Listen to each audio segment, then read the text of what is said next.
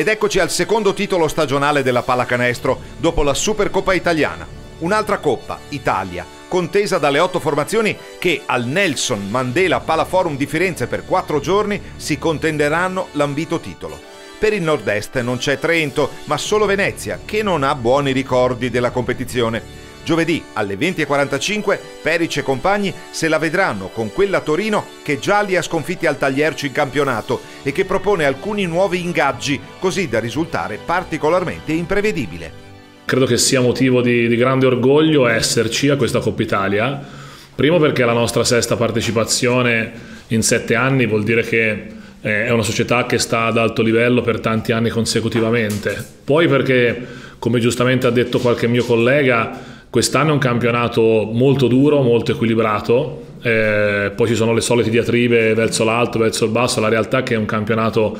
equilibratissimo e sono rimaste fuori squadre di primissima fascia, vedi Reggio Emilia, vedi Trento, vedi eh, Sassari, tante squadre che eh, giustamente possono ambire a un posto eh, nei playoff e nelle prime, nelle, nelle prime, posizioni di questo campionato. Quindi questa è la prima eh, valutazione. Eh, per quanto riguarda invece la nostra valutazione naturale che sappiamo qual è la nostra storia in Coppa Italia, è una storia eh, fatta di eliminazione al primo turno e quindi come ho detto ieri ci piacerebbe eh, riuscire ad, ad andare avanti perché quelli che sono lì sono tutti per vincere, è una manifestazione che si gioca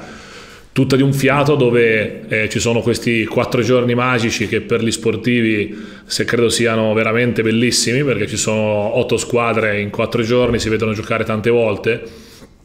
ma eh, noi cercheremo come tutti di andare lì per fare il meglio possibile. Eh, in più si gioca diciamo nella mia terra e questo per me è motivo in una città fra le più belle che ci sono in Italia quindi ci sono tanti e spero che i miei americani abbiano magari un pochino di tempo per andarla, per andarla a vedere.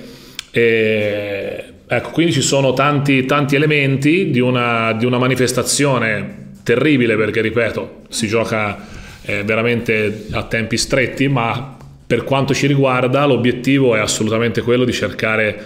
di andare avanti e superare per noi in questo momento il primo turno, però è naturale che andiamo lì per vincere eh, come ci arriviamo? Ci arriviamo, eh, come ho detto ieri, con eh, consapevolezza, eh, sereni, perché siamo comunque, stiamo facendo un'ottima stagione e quindi ci arriviamo anche con la consapevolezza di chi l'anno scorso ha vinto un campionato e questa consapevolezza eh, deve tradursi in una maturità in campo devo dire che sono un po' stufo di delusioni, tornare subito dopo il primo giorno, quindi spero che questa volta sarà un po' diversa.